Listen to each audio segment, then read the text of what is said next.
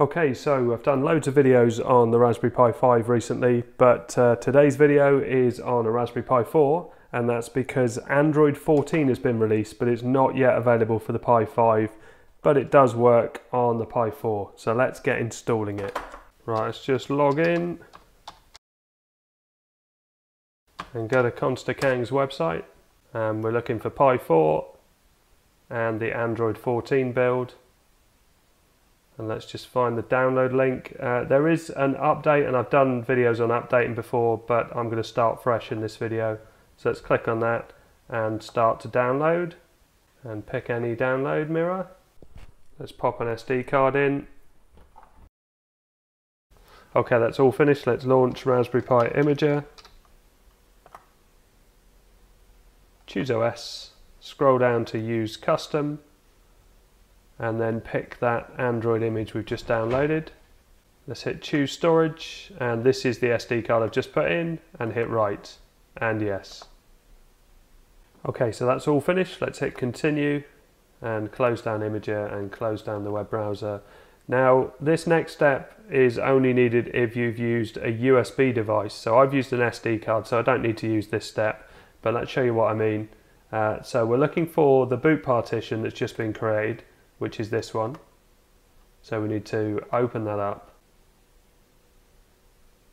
And we're looking for config.txt. So let's open that up and have a look for boot device, which you can see here at the bottom. So you can see at the moment it's set to SD card, but if you wanted to use USB, you need to delete the hash and then put a hash in front of SD card. But as I said before, I'm using an SD card, so I don't need to do that step. And then you would just do File and Save. So let's close this down and shut down the system because we need to switch Pis. So let's pop that SD card into my Pi 4 and switch on.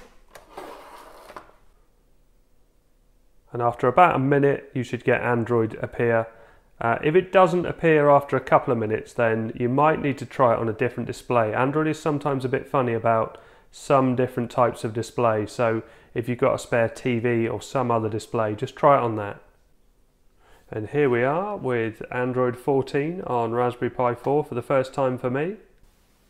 Okay, so you can see it looks pretty basic at this point. Uh, so let's scroll up and uh, go to settings and scroll down to about tablet and scroll down to build number and then just keep clicking on that. You can see you're one step you are now a developer. So now we go to system developer options and I think everything's already turned on that we need. So let's go back from that. So F1 will take you back if you're using a keyboard Okay, so I'm having something that I haven't had happen before on Android, and I'll show you what it is. So if I want to install the Aptoide store, uh, what I would usually do is put in a web address, so let's go for bing.com, uh, and then put in Aptoide in the search bar here. And uh, just to install it, we would go to the Aptoide store and uh, you can see this pop-up happens and we've got this allow all option. So if I click on this, it doesn't actually let me select it. And I sometimes can get it by tapping on the trackpad, but it just doesn't seem to let me select it. It lets me click on anything else. Everything else is absolutely fine, but that's not working. So what I'm going to do is shut down and uh, because I think this will let me show the rest of the tutorial, I'm going to uh, use a touchscreen. Um, you may not have this problem, but because I haven't seen anything mentioned in all the notes on Kang's page, but let's power this off. Okay, so the red cable is plugged into the WiMAXit monitor, uh, which is giving it touch, and I've got an HDMI cable plugged in as well, and this one is just powering the monitor. And you can see it started up, and if I scroll up with my finger, you can see that touchscreen is working. Let's go to the web browser and type in www.bing.com com just so we can search. Uh, and in here, I'm going to put in mind the GApps GitHub and it will quit out. Let's try that again. Okay, it's there. And we've got a 14 ARM version here. That should be alright. So let's click on that and one release and then click on this zip file which I don't think it's letting me download. So I'm going to download it on another device to a USB stick. Yeah, I've just clicked on it on my iPad and it's let me download it straight away. Okay, so I popped it on this SD card and a little USB reader. So I'm going to pop that into the Pi 4. So let's just check my memory stick is showing up. Uh, so we scroll up and hit Files. Yeah, there's my USB stick and on the USB stick is loads of folders and things but there's bitgapps there which is a zip file which is what I need. So now I need advanced startup. So let's go into settings and Raspberry Pi settings under system. And you can see reboot to recovery. So we need to switch that on. Now we scroll down from the top left here hit the power button and restart so first of all you get a splash screen and then it will take you to this menu. Click on install and select storage. You can see I've got my USB here and hit OK. And then we're looking for that GApps file and it must be this one, let MindTheGapps 14.0.0 and we need to swipe to flash and it will go through all the steps of installing. Then we need to wipe Dalvik so click on that and then swipe to wipe. Then we need to go back and back again and back again and then go to wipe and swipe to factory reset and then reboot system and that's rebooted so now if we scroll up we have the Google Play Store and the Google app. So we log in in the normal way with your Google account. So at the moment it's not verified. It usually takes a few minutes to verify, so we'll have to come back to that. Um, but actually that's a good point to go into the web browser. Will this do web browser as normal? And search for Kang because there's information about Pi 5 because I know that there'll already be some comments about uh, when is this coming to Pi 5 or does this work with Pi 5 uh, it doesn't uh, and I'll show you what Kang has said. So we go to Pi 4 go to this latest build that we've just downloaded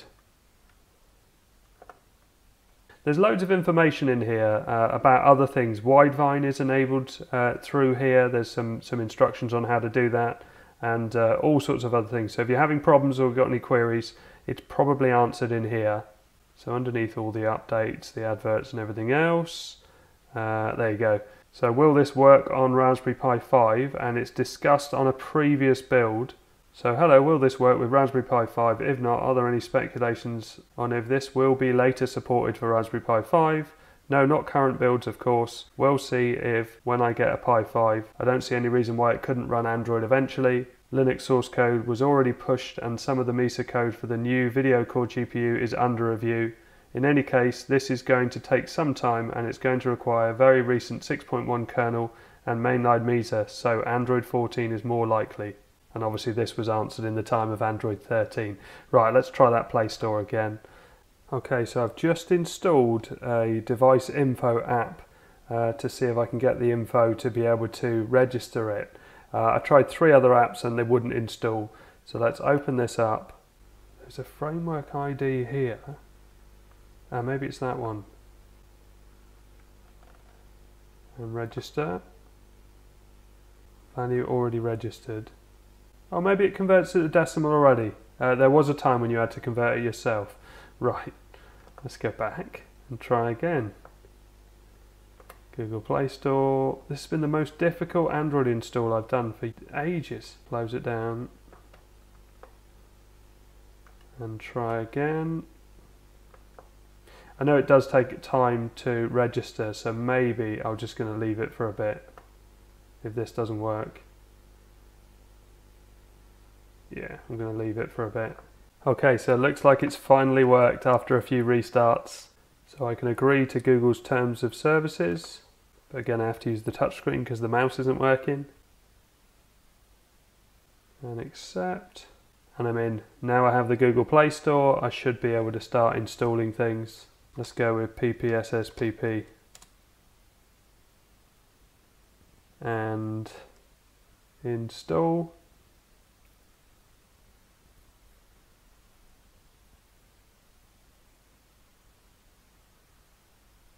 Got a bit of a new look to the Play Store. I guess maybe that is an Android uh, 14 thing, but it's looking pretty decent, working well with the touchscreen.